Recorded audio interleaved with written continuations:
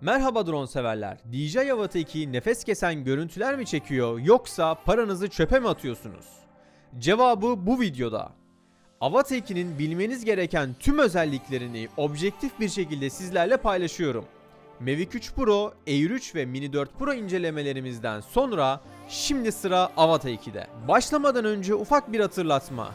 Tek plan sinematik çekimlerinin profesyonelce nasıl yapıldığını merak ediyorsanız açıklama kısmındaki linkten Avata 2 50 koduyla Udemy kursuma %50 indirimli şekilde kaydolabilirsiniz. FCC modu, kamera ayarları, hareket bulanıklığı, renklendirme, ses efektleri, export ayarları, ND filtreler, rota planlama ve daha fazlası için bu fırsattan hemen yararlanın. Hadi şimdi Avata 2'yi detaylıca inceleyelim.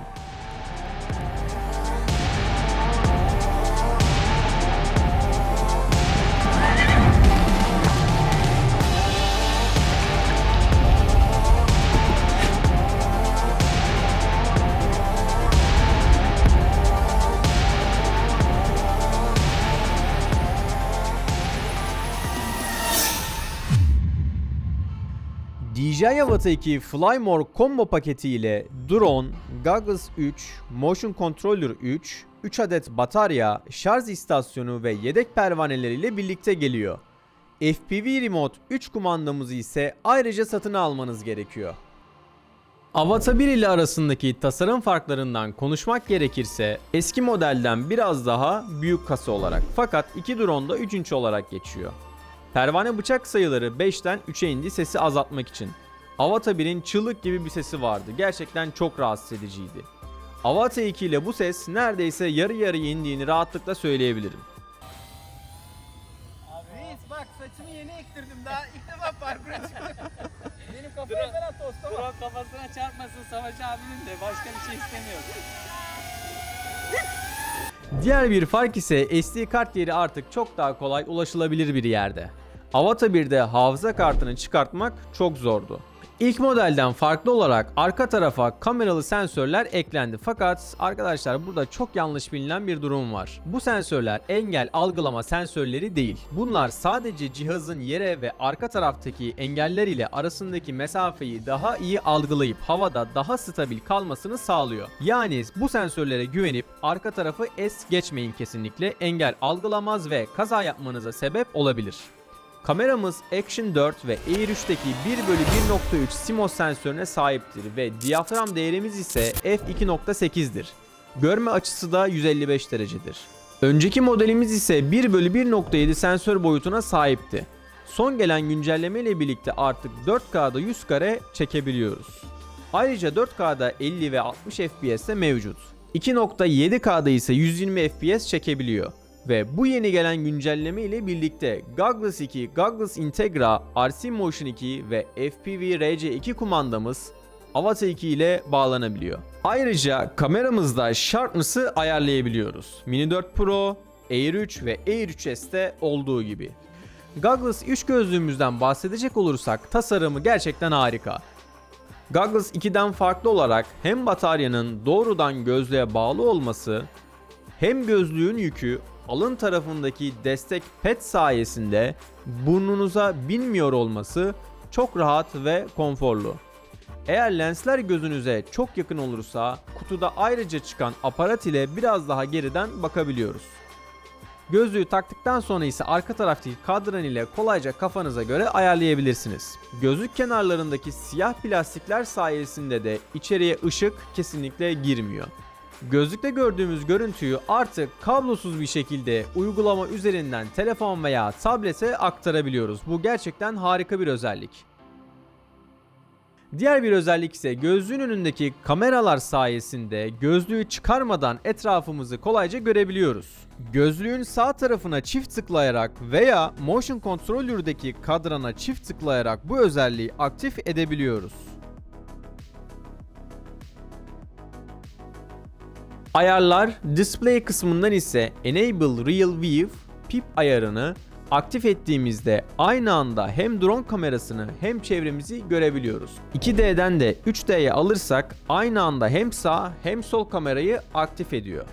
Eğer 2D'de de kalırsa ayarlar tek kameradan aldığı görüntüyü gösteriyor. Gözlük kullanan kişiler için de eski modelde olduğu gibi dereceleri ayarlayabiliyoruz ve dereceleri de ekranda rakamlar ile görüp ona göre daha kolay bir şekilde ayar yapabiliyoruz. Bu gerçekten harika bir özellik. Gözlük dereceleriniz de 6'dan fazlaysa kutudan çıkan 2 derecelik lensleri taktığınızda 8 dereceye kadar görebilirsiniz. Gözlükte bulunan gyroskop sayesinde kafa hareketleri ile drone'u kullanabiliyoruz.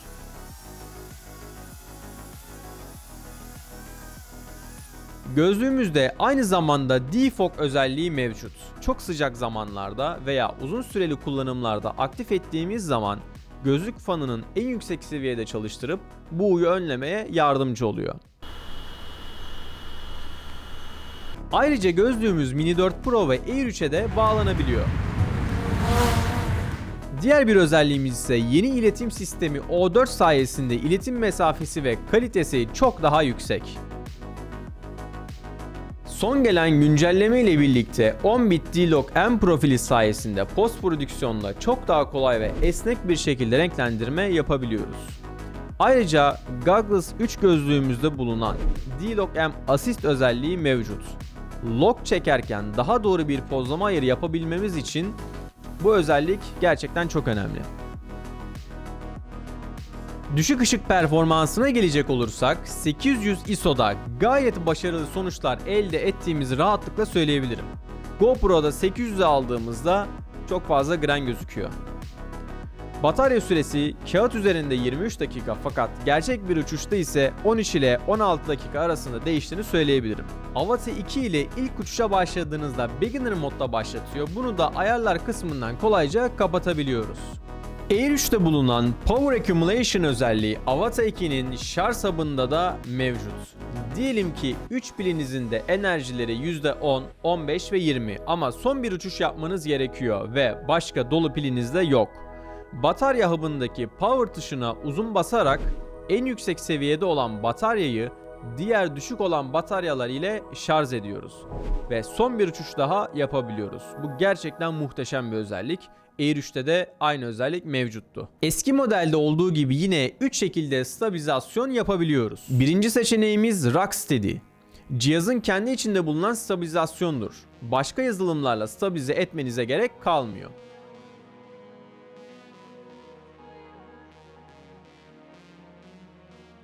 İkincisi ise Horizon Steady. Yatay yöndeki tüm hareketleri stabilize edip tamamen düz bir görüntü veriyor.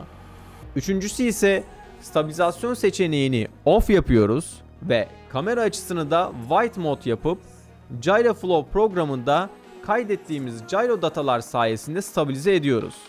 Ve bu videoda izlediğiniz tüm görüntülerde olduğu gibi. Avata 1'de bulunan Turtle Mode yine Avata 2'de de mevcut. Herhangi bir yerde kaza yaparsanız ve cihaz ters dönerse Turtle Mode sayesinde cihazı düzeltebiliyoruz. Eski modelde 20 GB dahili hafızaya sahipti. Yeni modelde ise 46 GB alana sahip. Hafıza kartınız olmasa bile gayet yeterli bir alana sahipsiniz.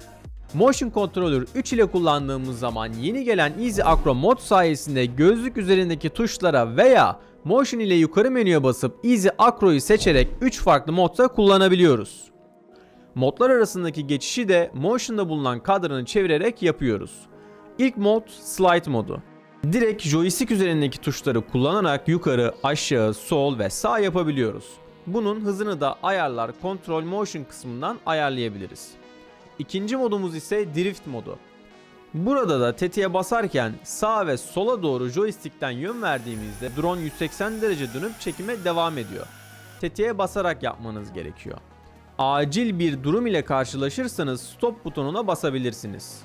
Sonra tekrar basıp çekime devam edebilirsiniz. Son olarak da flip modunda yine joystick ile sağ, sol, ön ve arka yaptığımızda o tarafa doğru takla atıyor. Mod tuşuna ise bir kere bastığımızda modlar arasında değişim yapıyor. Uzun bastığımızda ise eve dönüş moduna geçiyor. Bunun ile birlikte Easy Acro modunu RC Motion 2 ile de kullanabilirsiniz. Negatif yanlarından bahsedecek olursak arkadaşlar bu drone Cinewoop olduğu için kanat korumalarına sahip. Eğer çok açık alanlarda ve yüksek yerlerde çekim yapıyorsanız 5 inç ya da 7 inç dronları tavsiye ederim. Bu tarz yerlerde kullanıma maalesef çok uygun değil. Bu drone insanların olduğu kalabalık yerler, kapalı ve dar alanlarda kullanıma çok daha uygun. Diğer bir negatif yanı ise yükseklik limiti 500 metre olması. Herhangi bir dağdan dalış yapmak istediğinizde bu yükseklik çok yetersiz kalıyor. Drone otomatik olarak duruyor ve daha fazla çıkmıyor. Yine Avata 1'de olduğu gibi arkadaşlar çok sert manevralarda cihazın motorlarında senkron sorunu yaşıyoruz ve cihaz anlık yükseklik kaybediyor. Motorlar arasındaki dengeyi tam sağlayamadığı için eğer yere yakınsanız kaza yapmanıza sebep olabilir. O sebeple dikkatli olmanızı şiddetle tavsiye ederim. Ve diğer bir konu ise gözlük kamerasındaki görüş açınız bayağı dar. Bu sebeple çok kullanışlı olmuyor. Burada geniş açı bir kamera olmalıydı. Ben bu özelliği neredeyse hiç kullanmadım bu sebepten ötürü. Ve diğer bir negatif yanımız ise arkadaşlar maalesef 25 FPS'e görüntü kaydedemiyoruz. En düşük 30 FPS oluyor. Bunu da güncelleme ile ekleyeceklerini düşünüyordum fakat ne yazık ki hala gelmedi. Diğer bir konumuz ise arkadaşlar aspect ratio 4.3 oranında çekerken 120 FPS çekemiyoruz. Instagram'da viral olabilecek dikey formatta slow motion çekememek bence çok kötü bir özellik. GoPro'larda 8.7 aspect ratio'da slow motion yapabiliyoruz. Bu GoPro'yu bir tık daha öne taşıyor. Dış kasadan bahsedecek olursak arkadaşlar eski model kadar sağlam olmadığını rahatlıkla söyleyebilirim. O yüzden kaza yapmamaya bakın.